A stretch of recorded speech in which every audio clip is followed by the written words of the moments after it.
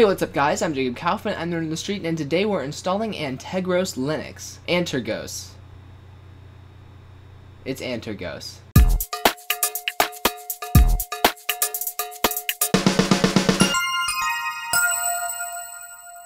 So we're just gonna jump right in and I'll kind of explain why I'm doing this, what we're doing, and why I'm doing it while we're doing it. So this happened to my Ubuntu installation today. Uh, I actually, I was messing around with graphics drivers, so it was not just out of the blue. But yeah, I did not realize that it was physically possible for this to happen, so thought it was kind of funny. I didn't know that this monitor actually supported anything other than 1440p, because in the past, it has actually not been able to scale its resolution down. So this must be something the graphics card is doing. Yeah, kind of weird. Okay, looks like everything important is backed up. So that's good. So let me turn off the computer to start with. And now I will go and unplug the external hard drive and plug in our flash drive. So here we go, booting off of the flash drive if we can. So Antergos is based off of Arch Linux, and it doesn't actually do much to Arch Linux. It doesn't hold back packages. It only adds one repository. It does not remove any Arch repositories.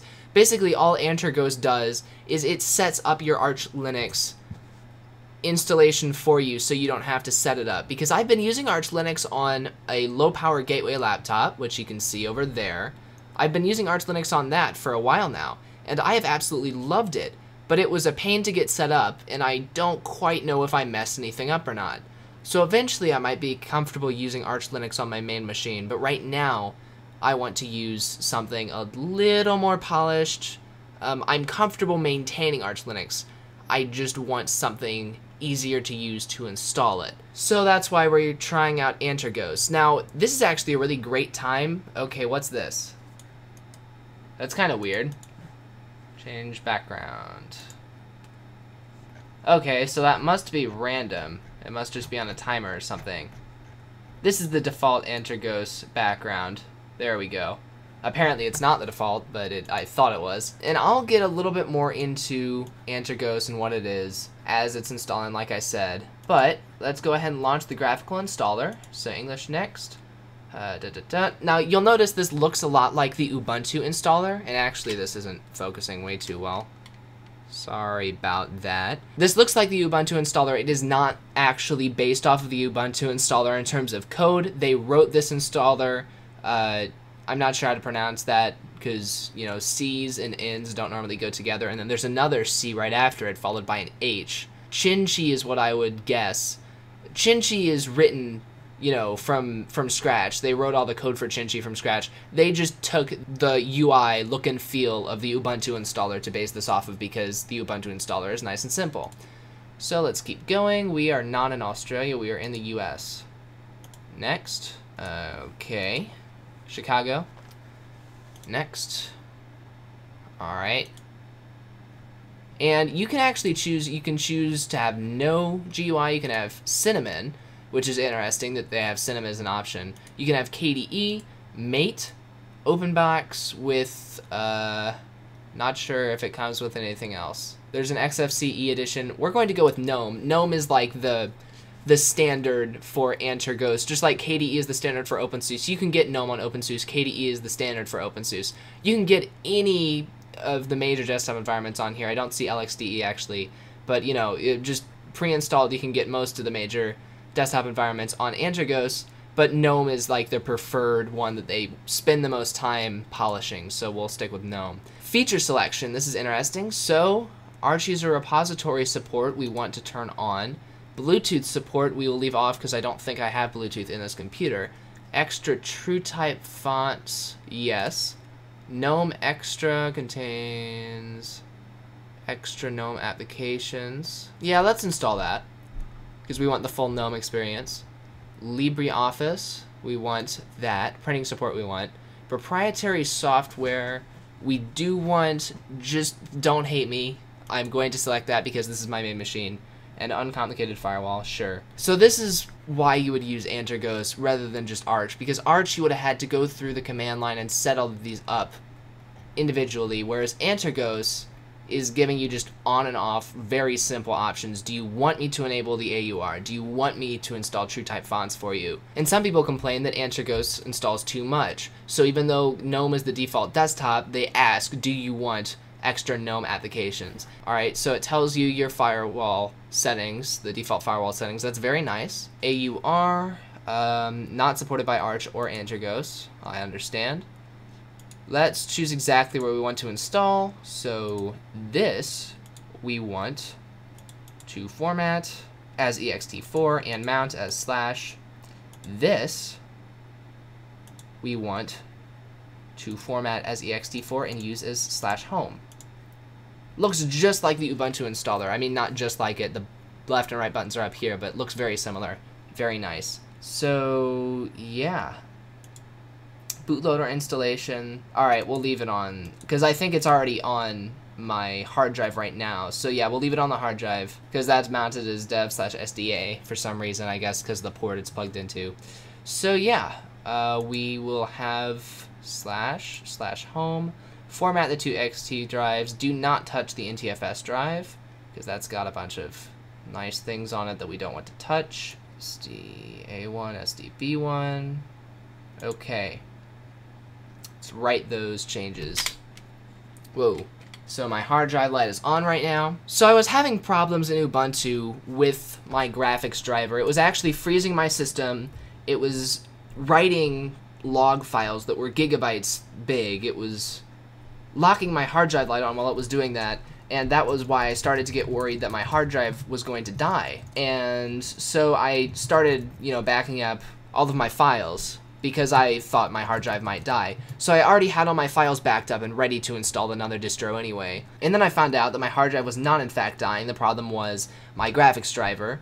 And I have to use the proprietary graphics driver on this computer. If I don't, you, you've probably seen some of the artifacts that have been happening. If I don't use the proprietary driver, artifacts happen slowly and eventually the entire computer crashes. So yeah, I, I really need that proprietary NVIDIA driver, unfortunately. And the Ubuntu repositories don't have the latest driver, so I went to install the latest version of the driver manually because I thought maybe that might fix whatever bug is causing I had a bunch of uh, system problem detected, would you like to report boxes on Ubuntu, and of course I don't want to report them. But yeah, I went to install the updated version of the graphics driver, but it said that headers weren't installed, and I checked, and I had the Linux 3.13 kernel, but the 3.16 headers were installed, and I couldn't figure out how to install the 3.13 headers. They were not in the repositories as far as apt-get was concerned. So yeah, I decided, why not take a break? Now, as I was saying earlier, I'm not sure if I got through it or not, Antergos is based off of Arch, and Arch is it's supposedly not as stable as other distributions. Here's the thing. With Arch, you get the latest versions of packages as soon as they come out. So even though you don't get tested packages, you get bug fixes a lot quicker as well. So like I said, I've been loving it on my laptop. I have not had any problems with it on that.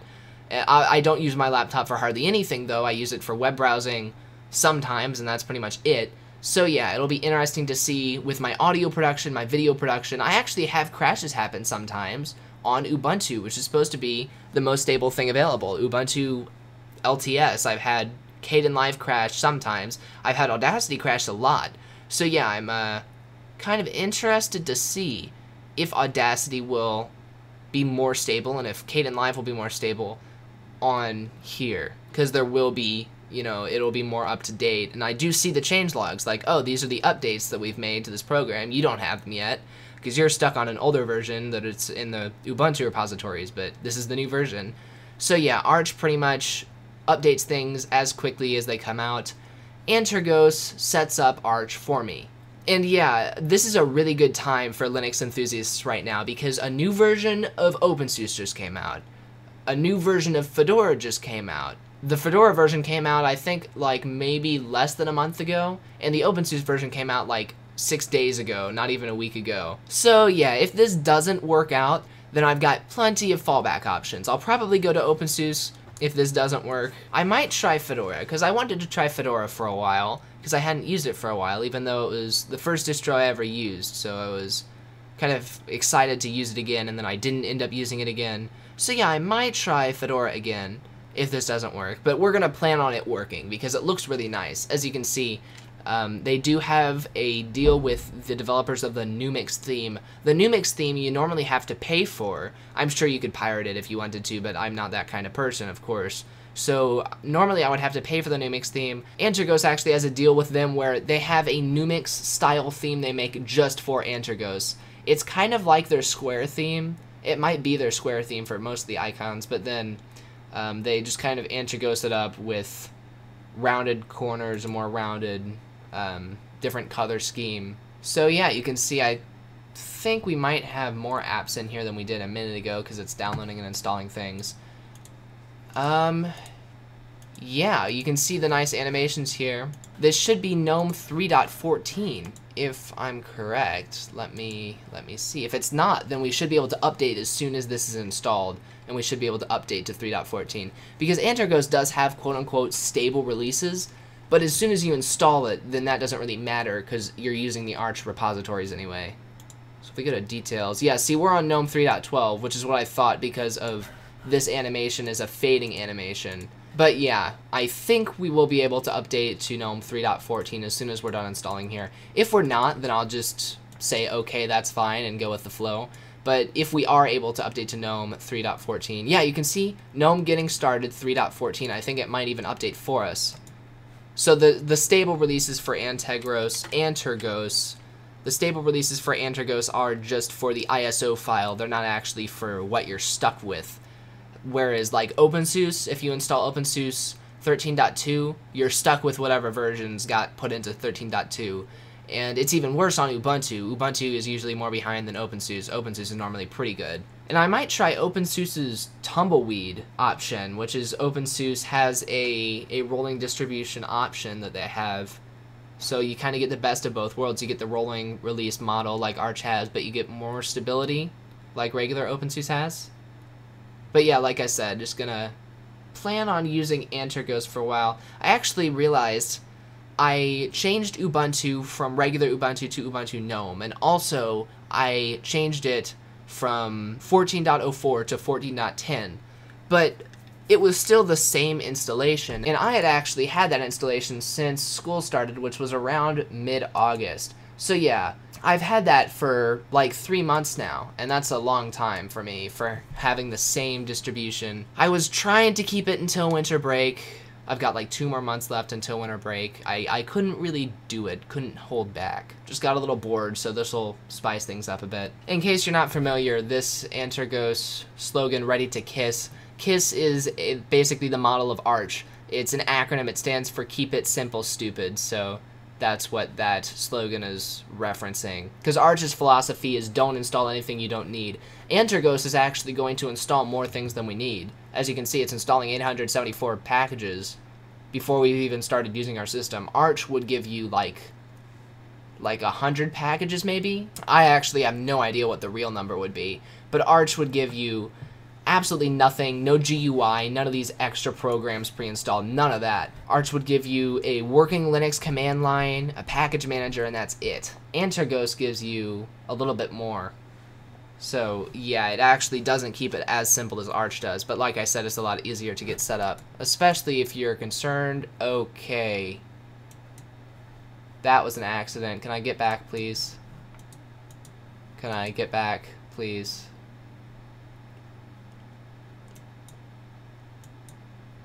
Okay, thank you. So that's what that little lock button does there. Yeah, I was just clicking around seeing what all these buttons do. I, this is a nice theme. I love the gnome theme that they put on here. They got rid of the rounded sides on the, the panel at the top. And yeah, the way this dock is styled is nice. Not sure if you can see that there. Yeah. Nice and refreshing. Because I've been on the default gnome look for a while. Other than my desktop background, of course, and my extensions. So maybe not default, but pretty close. That's interesting. Chinchi, it says cnchi.py up here, so this must be written in Python. Or it might be written in Python. And just finishing up, and that didn't take a lot of time. It takes less time to configure Antergos because it doesn't give you as much background stuff as, say, Ubuntu or OpenSUSE would. Um, same with just Arch. Would have taken probably more time than the other distros actually just doing it, you know, figuring out how to type everything and install it properly, but the actual loading phase would be lower. And also, this should be quicker to an extent. It should definitely start up a little faster than, than other distributions as well. All right, installation complete. Restart the system now. So as soon as it shuts off, I will take the flash drive out of the computer. So I'll take that out now. Hopefully we boot in here. Good. And Antergos Linux got a nice themed grub thing, which most distros do now.